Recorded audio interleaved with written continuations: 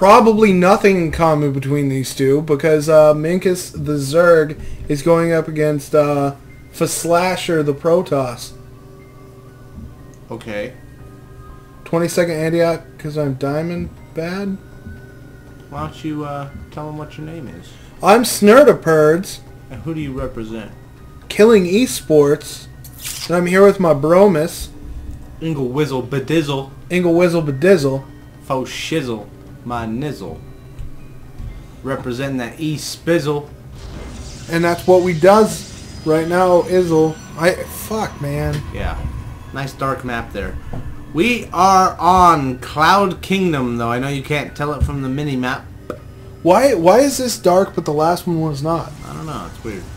Who cares? Cause uh, we're seeing for Slasher four gate. Typical things at this point.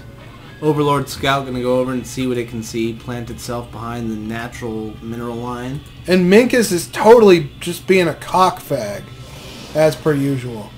He's a very egotistical player. Yeah. But uh, I guess he's allowed to be until we see him lose. While you're in Diamond. You know, he's saying, What rank is Minkus again? I don't know, he might be a Masters. Uh, maybe. I don't know. Who names their kid Minkus, though? Fat Russian Yeah. lady. Oh, well. F Slasher showing some humility, which is nice. Forge first for F Slasher. Yeah. Uh, No, but what- not actually down at his expansion. He's doing it behind his mineral line. As if he was expecting early pressure, maybe? And he wanted to be able to get a cannon up if he had to. So I'm not sure why he did that. Uh, Minkus took his second base already. Uh, and we're now waiting for his spawning pool to begin. He might actually take a quick third. Because this spawning pool is coming out really late. Yeah. Um. And he is. He's taking a quick third. Wow. This. Yeah. This is definitely something that uh, we don't see very often. Three base right off the bat. So yeah, he's definitely feeling confident. He's like, I can go ahead and risk this, and I don't think you're good enough to do anything about it. Three and a half minutes into the game, the spawning pool comes down now. Cannon on the way up, and base number two on the way up for F Slasher. Where is that spawning pool? Uh, it's got to be on creep somewhere, probably in the main. I was just there. Yeah, there. Oh. I was thinking that was gas because I'm an idiot. Oh, well, it's not. Yeah, ain't gas going there, but we see this hatchery. Ooh, he put a pylon down behind the mineral line. He was trying to cannon rush. You cheesy shit. F Slasher tried to do a cannon rush. It was scouted early enough. Oh, and he's still gonna go for it. Nah, he's gonna lose that probe, and that's gonna be the end of this. There's no way. Yeah, he's he just wasted his own time doing that. Well, uh, behind that though, he's getting his cannons up Doesn't matter. He's behind economically. No. by three. Well, yeah, by three, by a base, by uh, that lost worker, by the minerals that he lost while canceling that cannon as it came up. Uh, but he's still building a pretty decent infrastructure here. He didn't just hatch first; he three based first. I don't know. Uh, it, it was a bit of a risk to try that, and it got scouted, and he lost it. And so he's at a disadvantage now, and he's just going to have to deal with it and roll with it and see what he can pull out of it. Cybernetics core most of the way done now, so we'll get to see what tech path he chooses to go down once this finishes. Cybernetics core pretty much the uh, requisite building for all the advanced tech for the Protoss. We see a warp gate coming out for him, so we're gonna probably see a lot of uh, a lot of warped in units. No air here, or no area yet. He still has to add on two more gateways or or two more gateways. Okay, yes, actually straight to Stargate. That is unusual. So usually you'd see three gate Robo or four gate, but he's gonna go one gate, one Stargate, and probably go like Void Ray or something and try and catch his enemy unaware. He's building it right here, where it's gonna be easily seen by an invading army, though. Only if it's a flying unit, but yeah. Uh, if an Overlord drifts in there anywhere, it's definitely gonna see that. So Oh, he actually has that Overlord not too far away. If he just bounces that across, like one meter, he'll see it. Uh, some units dancing around the Xel'Naga Tower.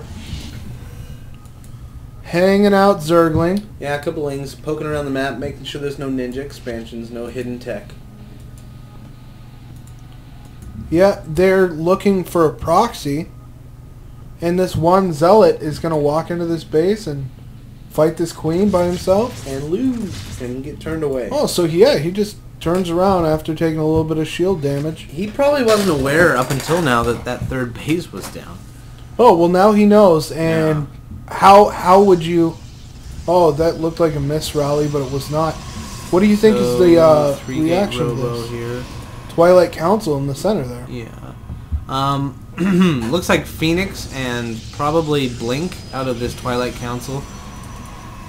But it's going to be a while before we see that. So yeah, probably three or four Phoenix, and he's going to go and harass the mineral uh, mineral line with them. Start picking up workers. So tell me about this uh, Phoenix for anybody who's watching who doesn't know shit about this game like me. It's an extremely fast-moving air-to-air damage unit with one ability. It, it spends energy to lift a ground unit up for like I don't know five or ten seconds. Ten. 10 seconds, yeah. And all the while that it's lifted, the other Phoenix get to shoot at it. So one Phoenix blows some energy, the other three get to shoot whatever the target is. And you can pick up and kill a drone in one lift. You can pick up and kill a queen in two lifts. So it's, it's a pretty easy way. If there's no spore, spore crawlers up, if there's not a bunch of queens at one base, you can go in and do a lot of harassment. And so he's gonna shoot down this uh, Overlord and then watch his fucking base get Yeah. Melted. He warps in a bunch of sentries and does force field this off. And those Phoenix just pick up four units, not to shoot them out of the air, but just to keep them from doing damage for now. To like reduce the army size of the Zerg while they're trying to knock the door down.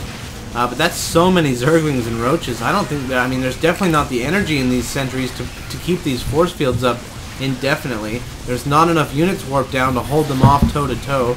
This uh, Immortal comes in, but it's not particularly strong against Lings. It's great against these uh, Roaches. But he's actually taken out the pylons and depowered this whole wall. What the fuck? He's got a Void Ray? Yeah, Void Ray now. Uh, where'd those... Uh, yeah, okay, there they are. So he's going to take a bunch of shots from that Spore Crawler on the ground. He needs to micro away from that. Loses uh, Phoenix over that. That's He not- loses the Phoenix, but he takes out the Queen. Yeah, that's not a good That's not a trade. trade at all. But I mean, the Phoenix takes gas, the Queen doesn't. The Queen's a little special because it does the inject, so you're, you're hampering production, but you don't want to lose gas units for mineral units ever. no. And uh, what do we see here? That's just uh, Lings and Roaches hatching a plan over here. They are going to now see that there's a Void Ray out. Oh, and this is not. no cancel on that base either, so he loses the full 400 minerals for that. What the fuck, man? Come on, for Slasher, you got to come back from this. So he's trying to get his third up, and he's in the face of a five base Zerg now. He's transitioning into Colossus tech. The Robo Bay is now on the way. Blink is now on the way. Plus one weapons is now on the way. So he's teching up and he's also transitioning. Um, but in the meantime, he doesn't have an answer to this big Ling Roach army on the map. No, he does not. Roach Speed is going to finish up pretty soon. 32 more Lings are going to join them. And they're all going to have plus one armor. He's researching Blink. He's researching uh, ground weapons plus two. Oh, that's plus two. Okay. Yeah, uh, his robotics bay is coming up, and Robo facility. Adding another one? Yeah, right so he's going to go double Colossus then. Yeah, that'll be strong if he can get them out, but look at his third base right now. It's getting hit by Zerg forces. Oh, his. Let's hope to see a cancel, and he gets a Hey! cancel He learned his lesson. No cancel on whatever that was. and no cancel Pylon? on the other. Yeah, no cancel on either. So another 200 minerals lost. And so his army comes in here, Oh, and uh, he just threw those away. yeah, no. Guardian Shield comes up, but that protects against range damage, and this is almost all Lings. Yeah, and let's see if he can. No, he can't hold him off. GG! Well, we haven't seen a GG yet, but it's it's inevitable here. Uh, for Slasher, is definitely done for. Yeah. Oh, Um, I mean, his supply count's not actually as, as bad as I would have thought. But he doesn't have I, mean, still no answer for this big Ling What's the units lost? You? Units lost. Oh, L. Yeah, but look at the look at the mineral count. We're talking about almost a thousand minerals difference here. Yeah, and it's actually, yeah. I don't know. That's not as bad as I would have thought either.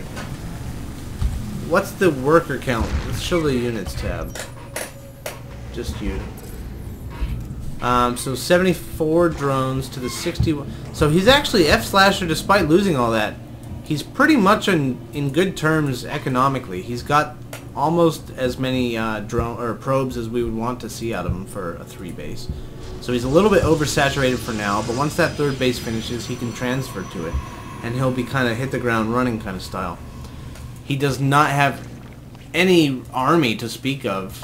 Nine zealots and a couple colossi is not going to hold itself against like 59 lings and 13 roaches and 11 infestors. That's really the big thing there. And as long as they're out and not being used, they're going to just gain energy and they're going to have full energy by the time an engagement does happen. And we're seeing Burrow uh, almost done uh, teching. Uh, Hive tech's coming down. Um, ground carapace level 2. Attacks level 2. And look at this. There is just infested Terrans coming out like crazy right now. Yeah, and those he, are he free. needs to run away from that. Though. Those are definitely free units. Yeah, just let them expire. Did he cancel that again? Did he forget? I don't know. I think he probably got the cancel there. Um, so he has to run those Colossus up the cliff. Everything else is pretty much forfeit. Roach is going to swarm right in the front door through the open hole, and uh, they're going to get shot down. But the supply really tells the story right now. 143 for the Zerg to the 91 of the Protoss. 28 more Roaches being made. Hive Tech coming up. Double Spire coming up. 2-2 coming up for these uh, melee units for the for the Lings. And we're seeing uh, Slasher get put into a corner where he's just going to have to keep producing units because there is no way that he's going to be able to stand up to the Zerg army. He's in one of those positions where the Zerg like to be, where uh, they can just throw away units and just keep producing more and more and more. And the Protoss can't really afford to do so. No. And every time that he's trying to get this base up and he loses it is at the minimum 100 minerals lost, as well as all the time. And here comes a lot more infested Terrans coming out. Again, free units. You don't want to stand around and shoot at them because every uh, every piece of your uh, hit points you lose is just waste. yeah, he's trying to get uh, base number 3 and base number 4 up. But the Zerg is at both of them. Oh, he's just chilling there. Yeah, he doesn't want him to cancel it. He's going to let him finish the, the uh, construction of the base and then knock it down in seconds so that he doesn't get 300 minerals back as a refund. Uh, 14 more lings being added into the fray. He's getting a greater spire now for broodlords in the near future. He's throwing down a couple of spine crawlers back at home for static defense. 2-2 is now done for these roaches. And Oh, he- corruptors coming out like nuts. He pulled his infestors back.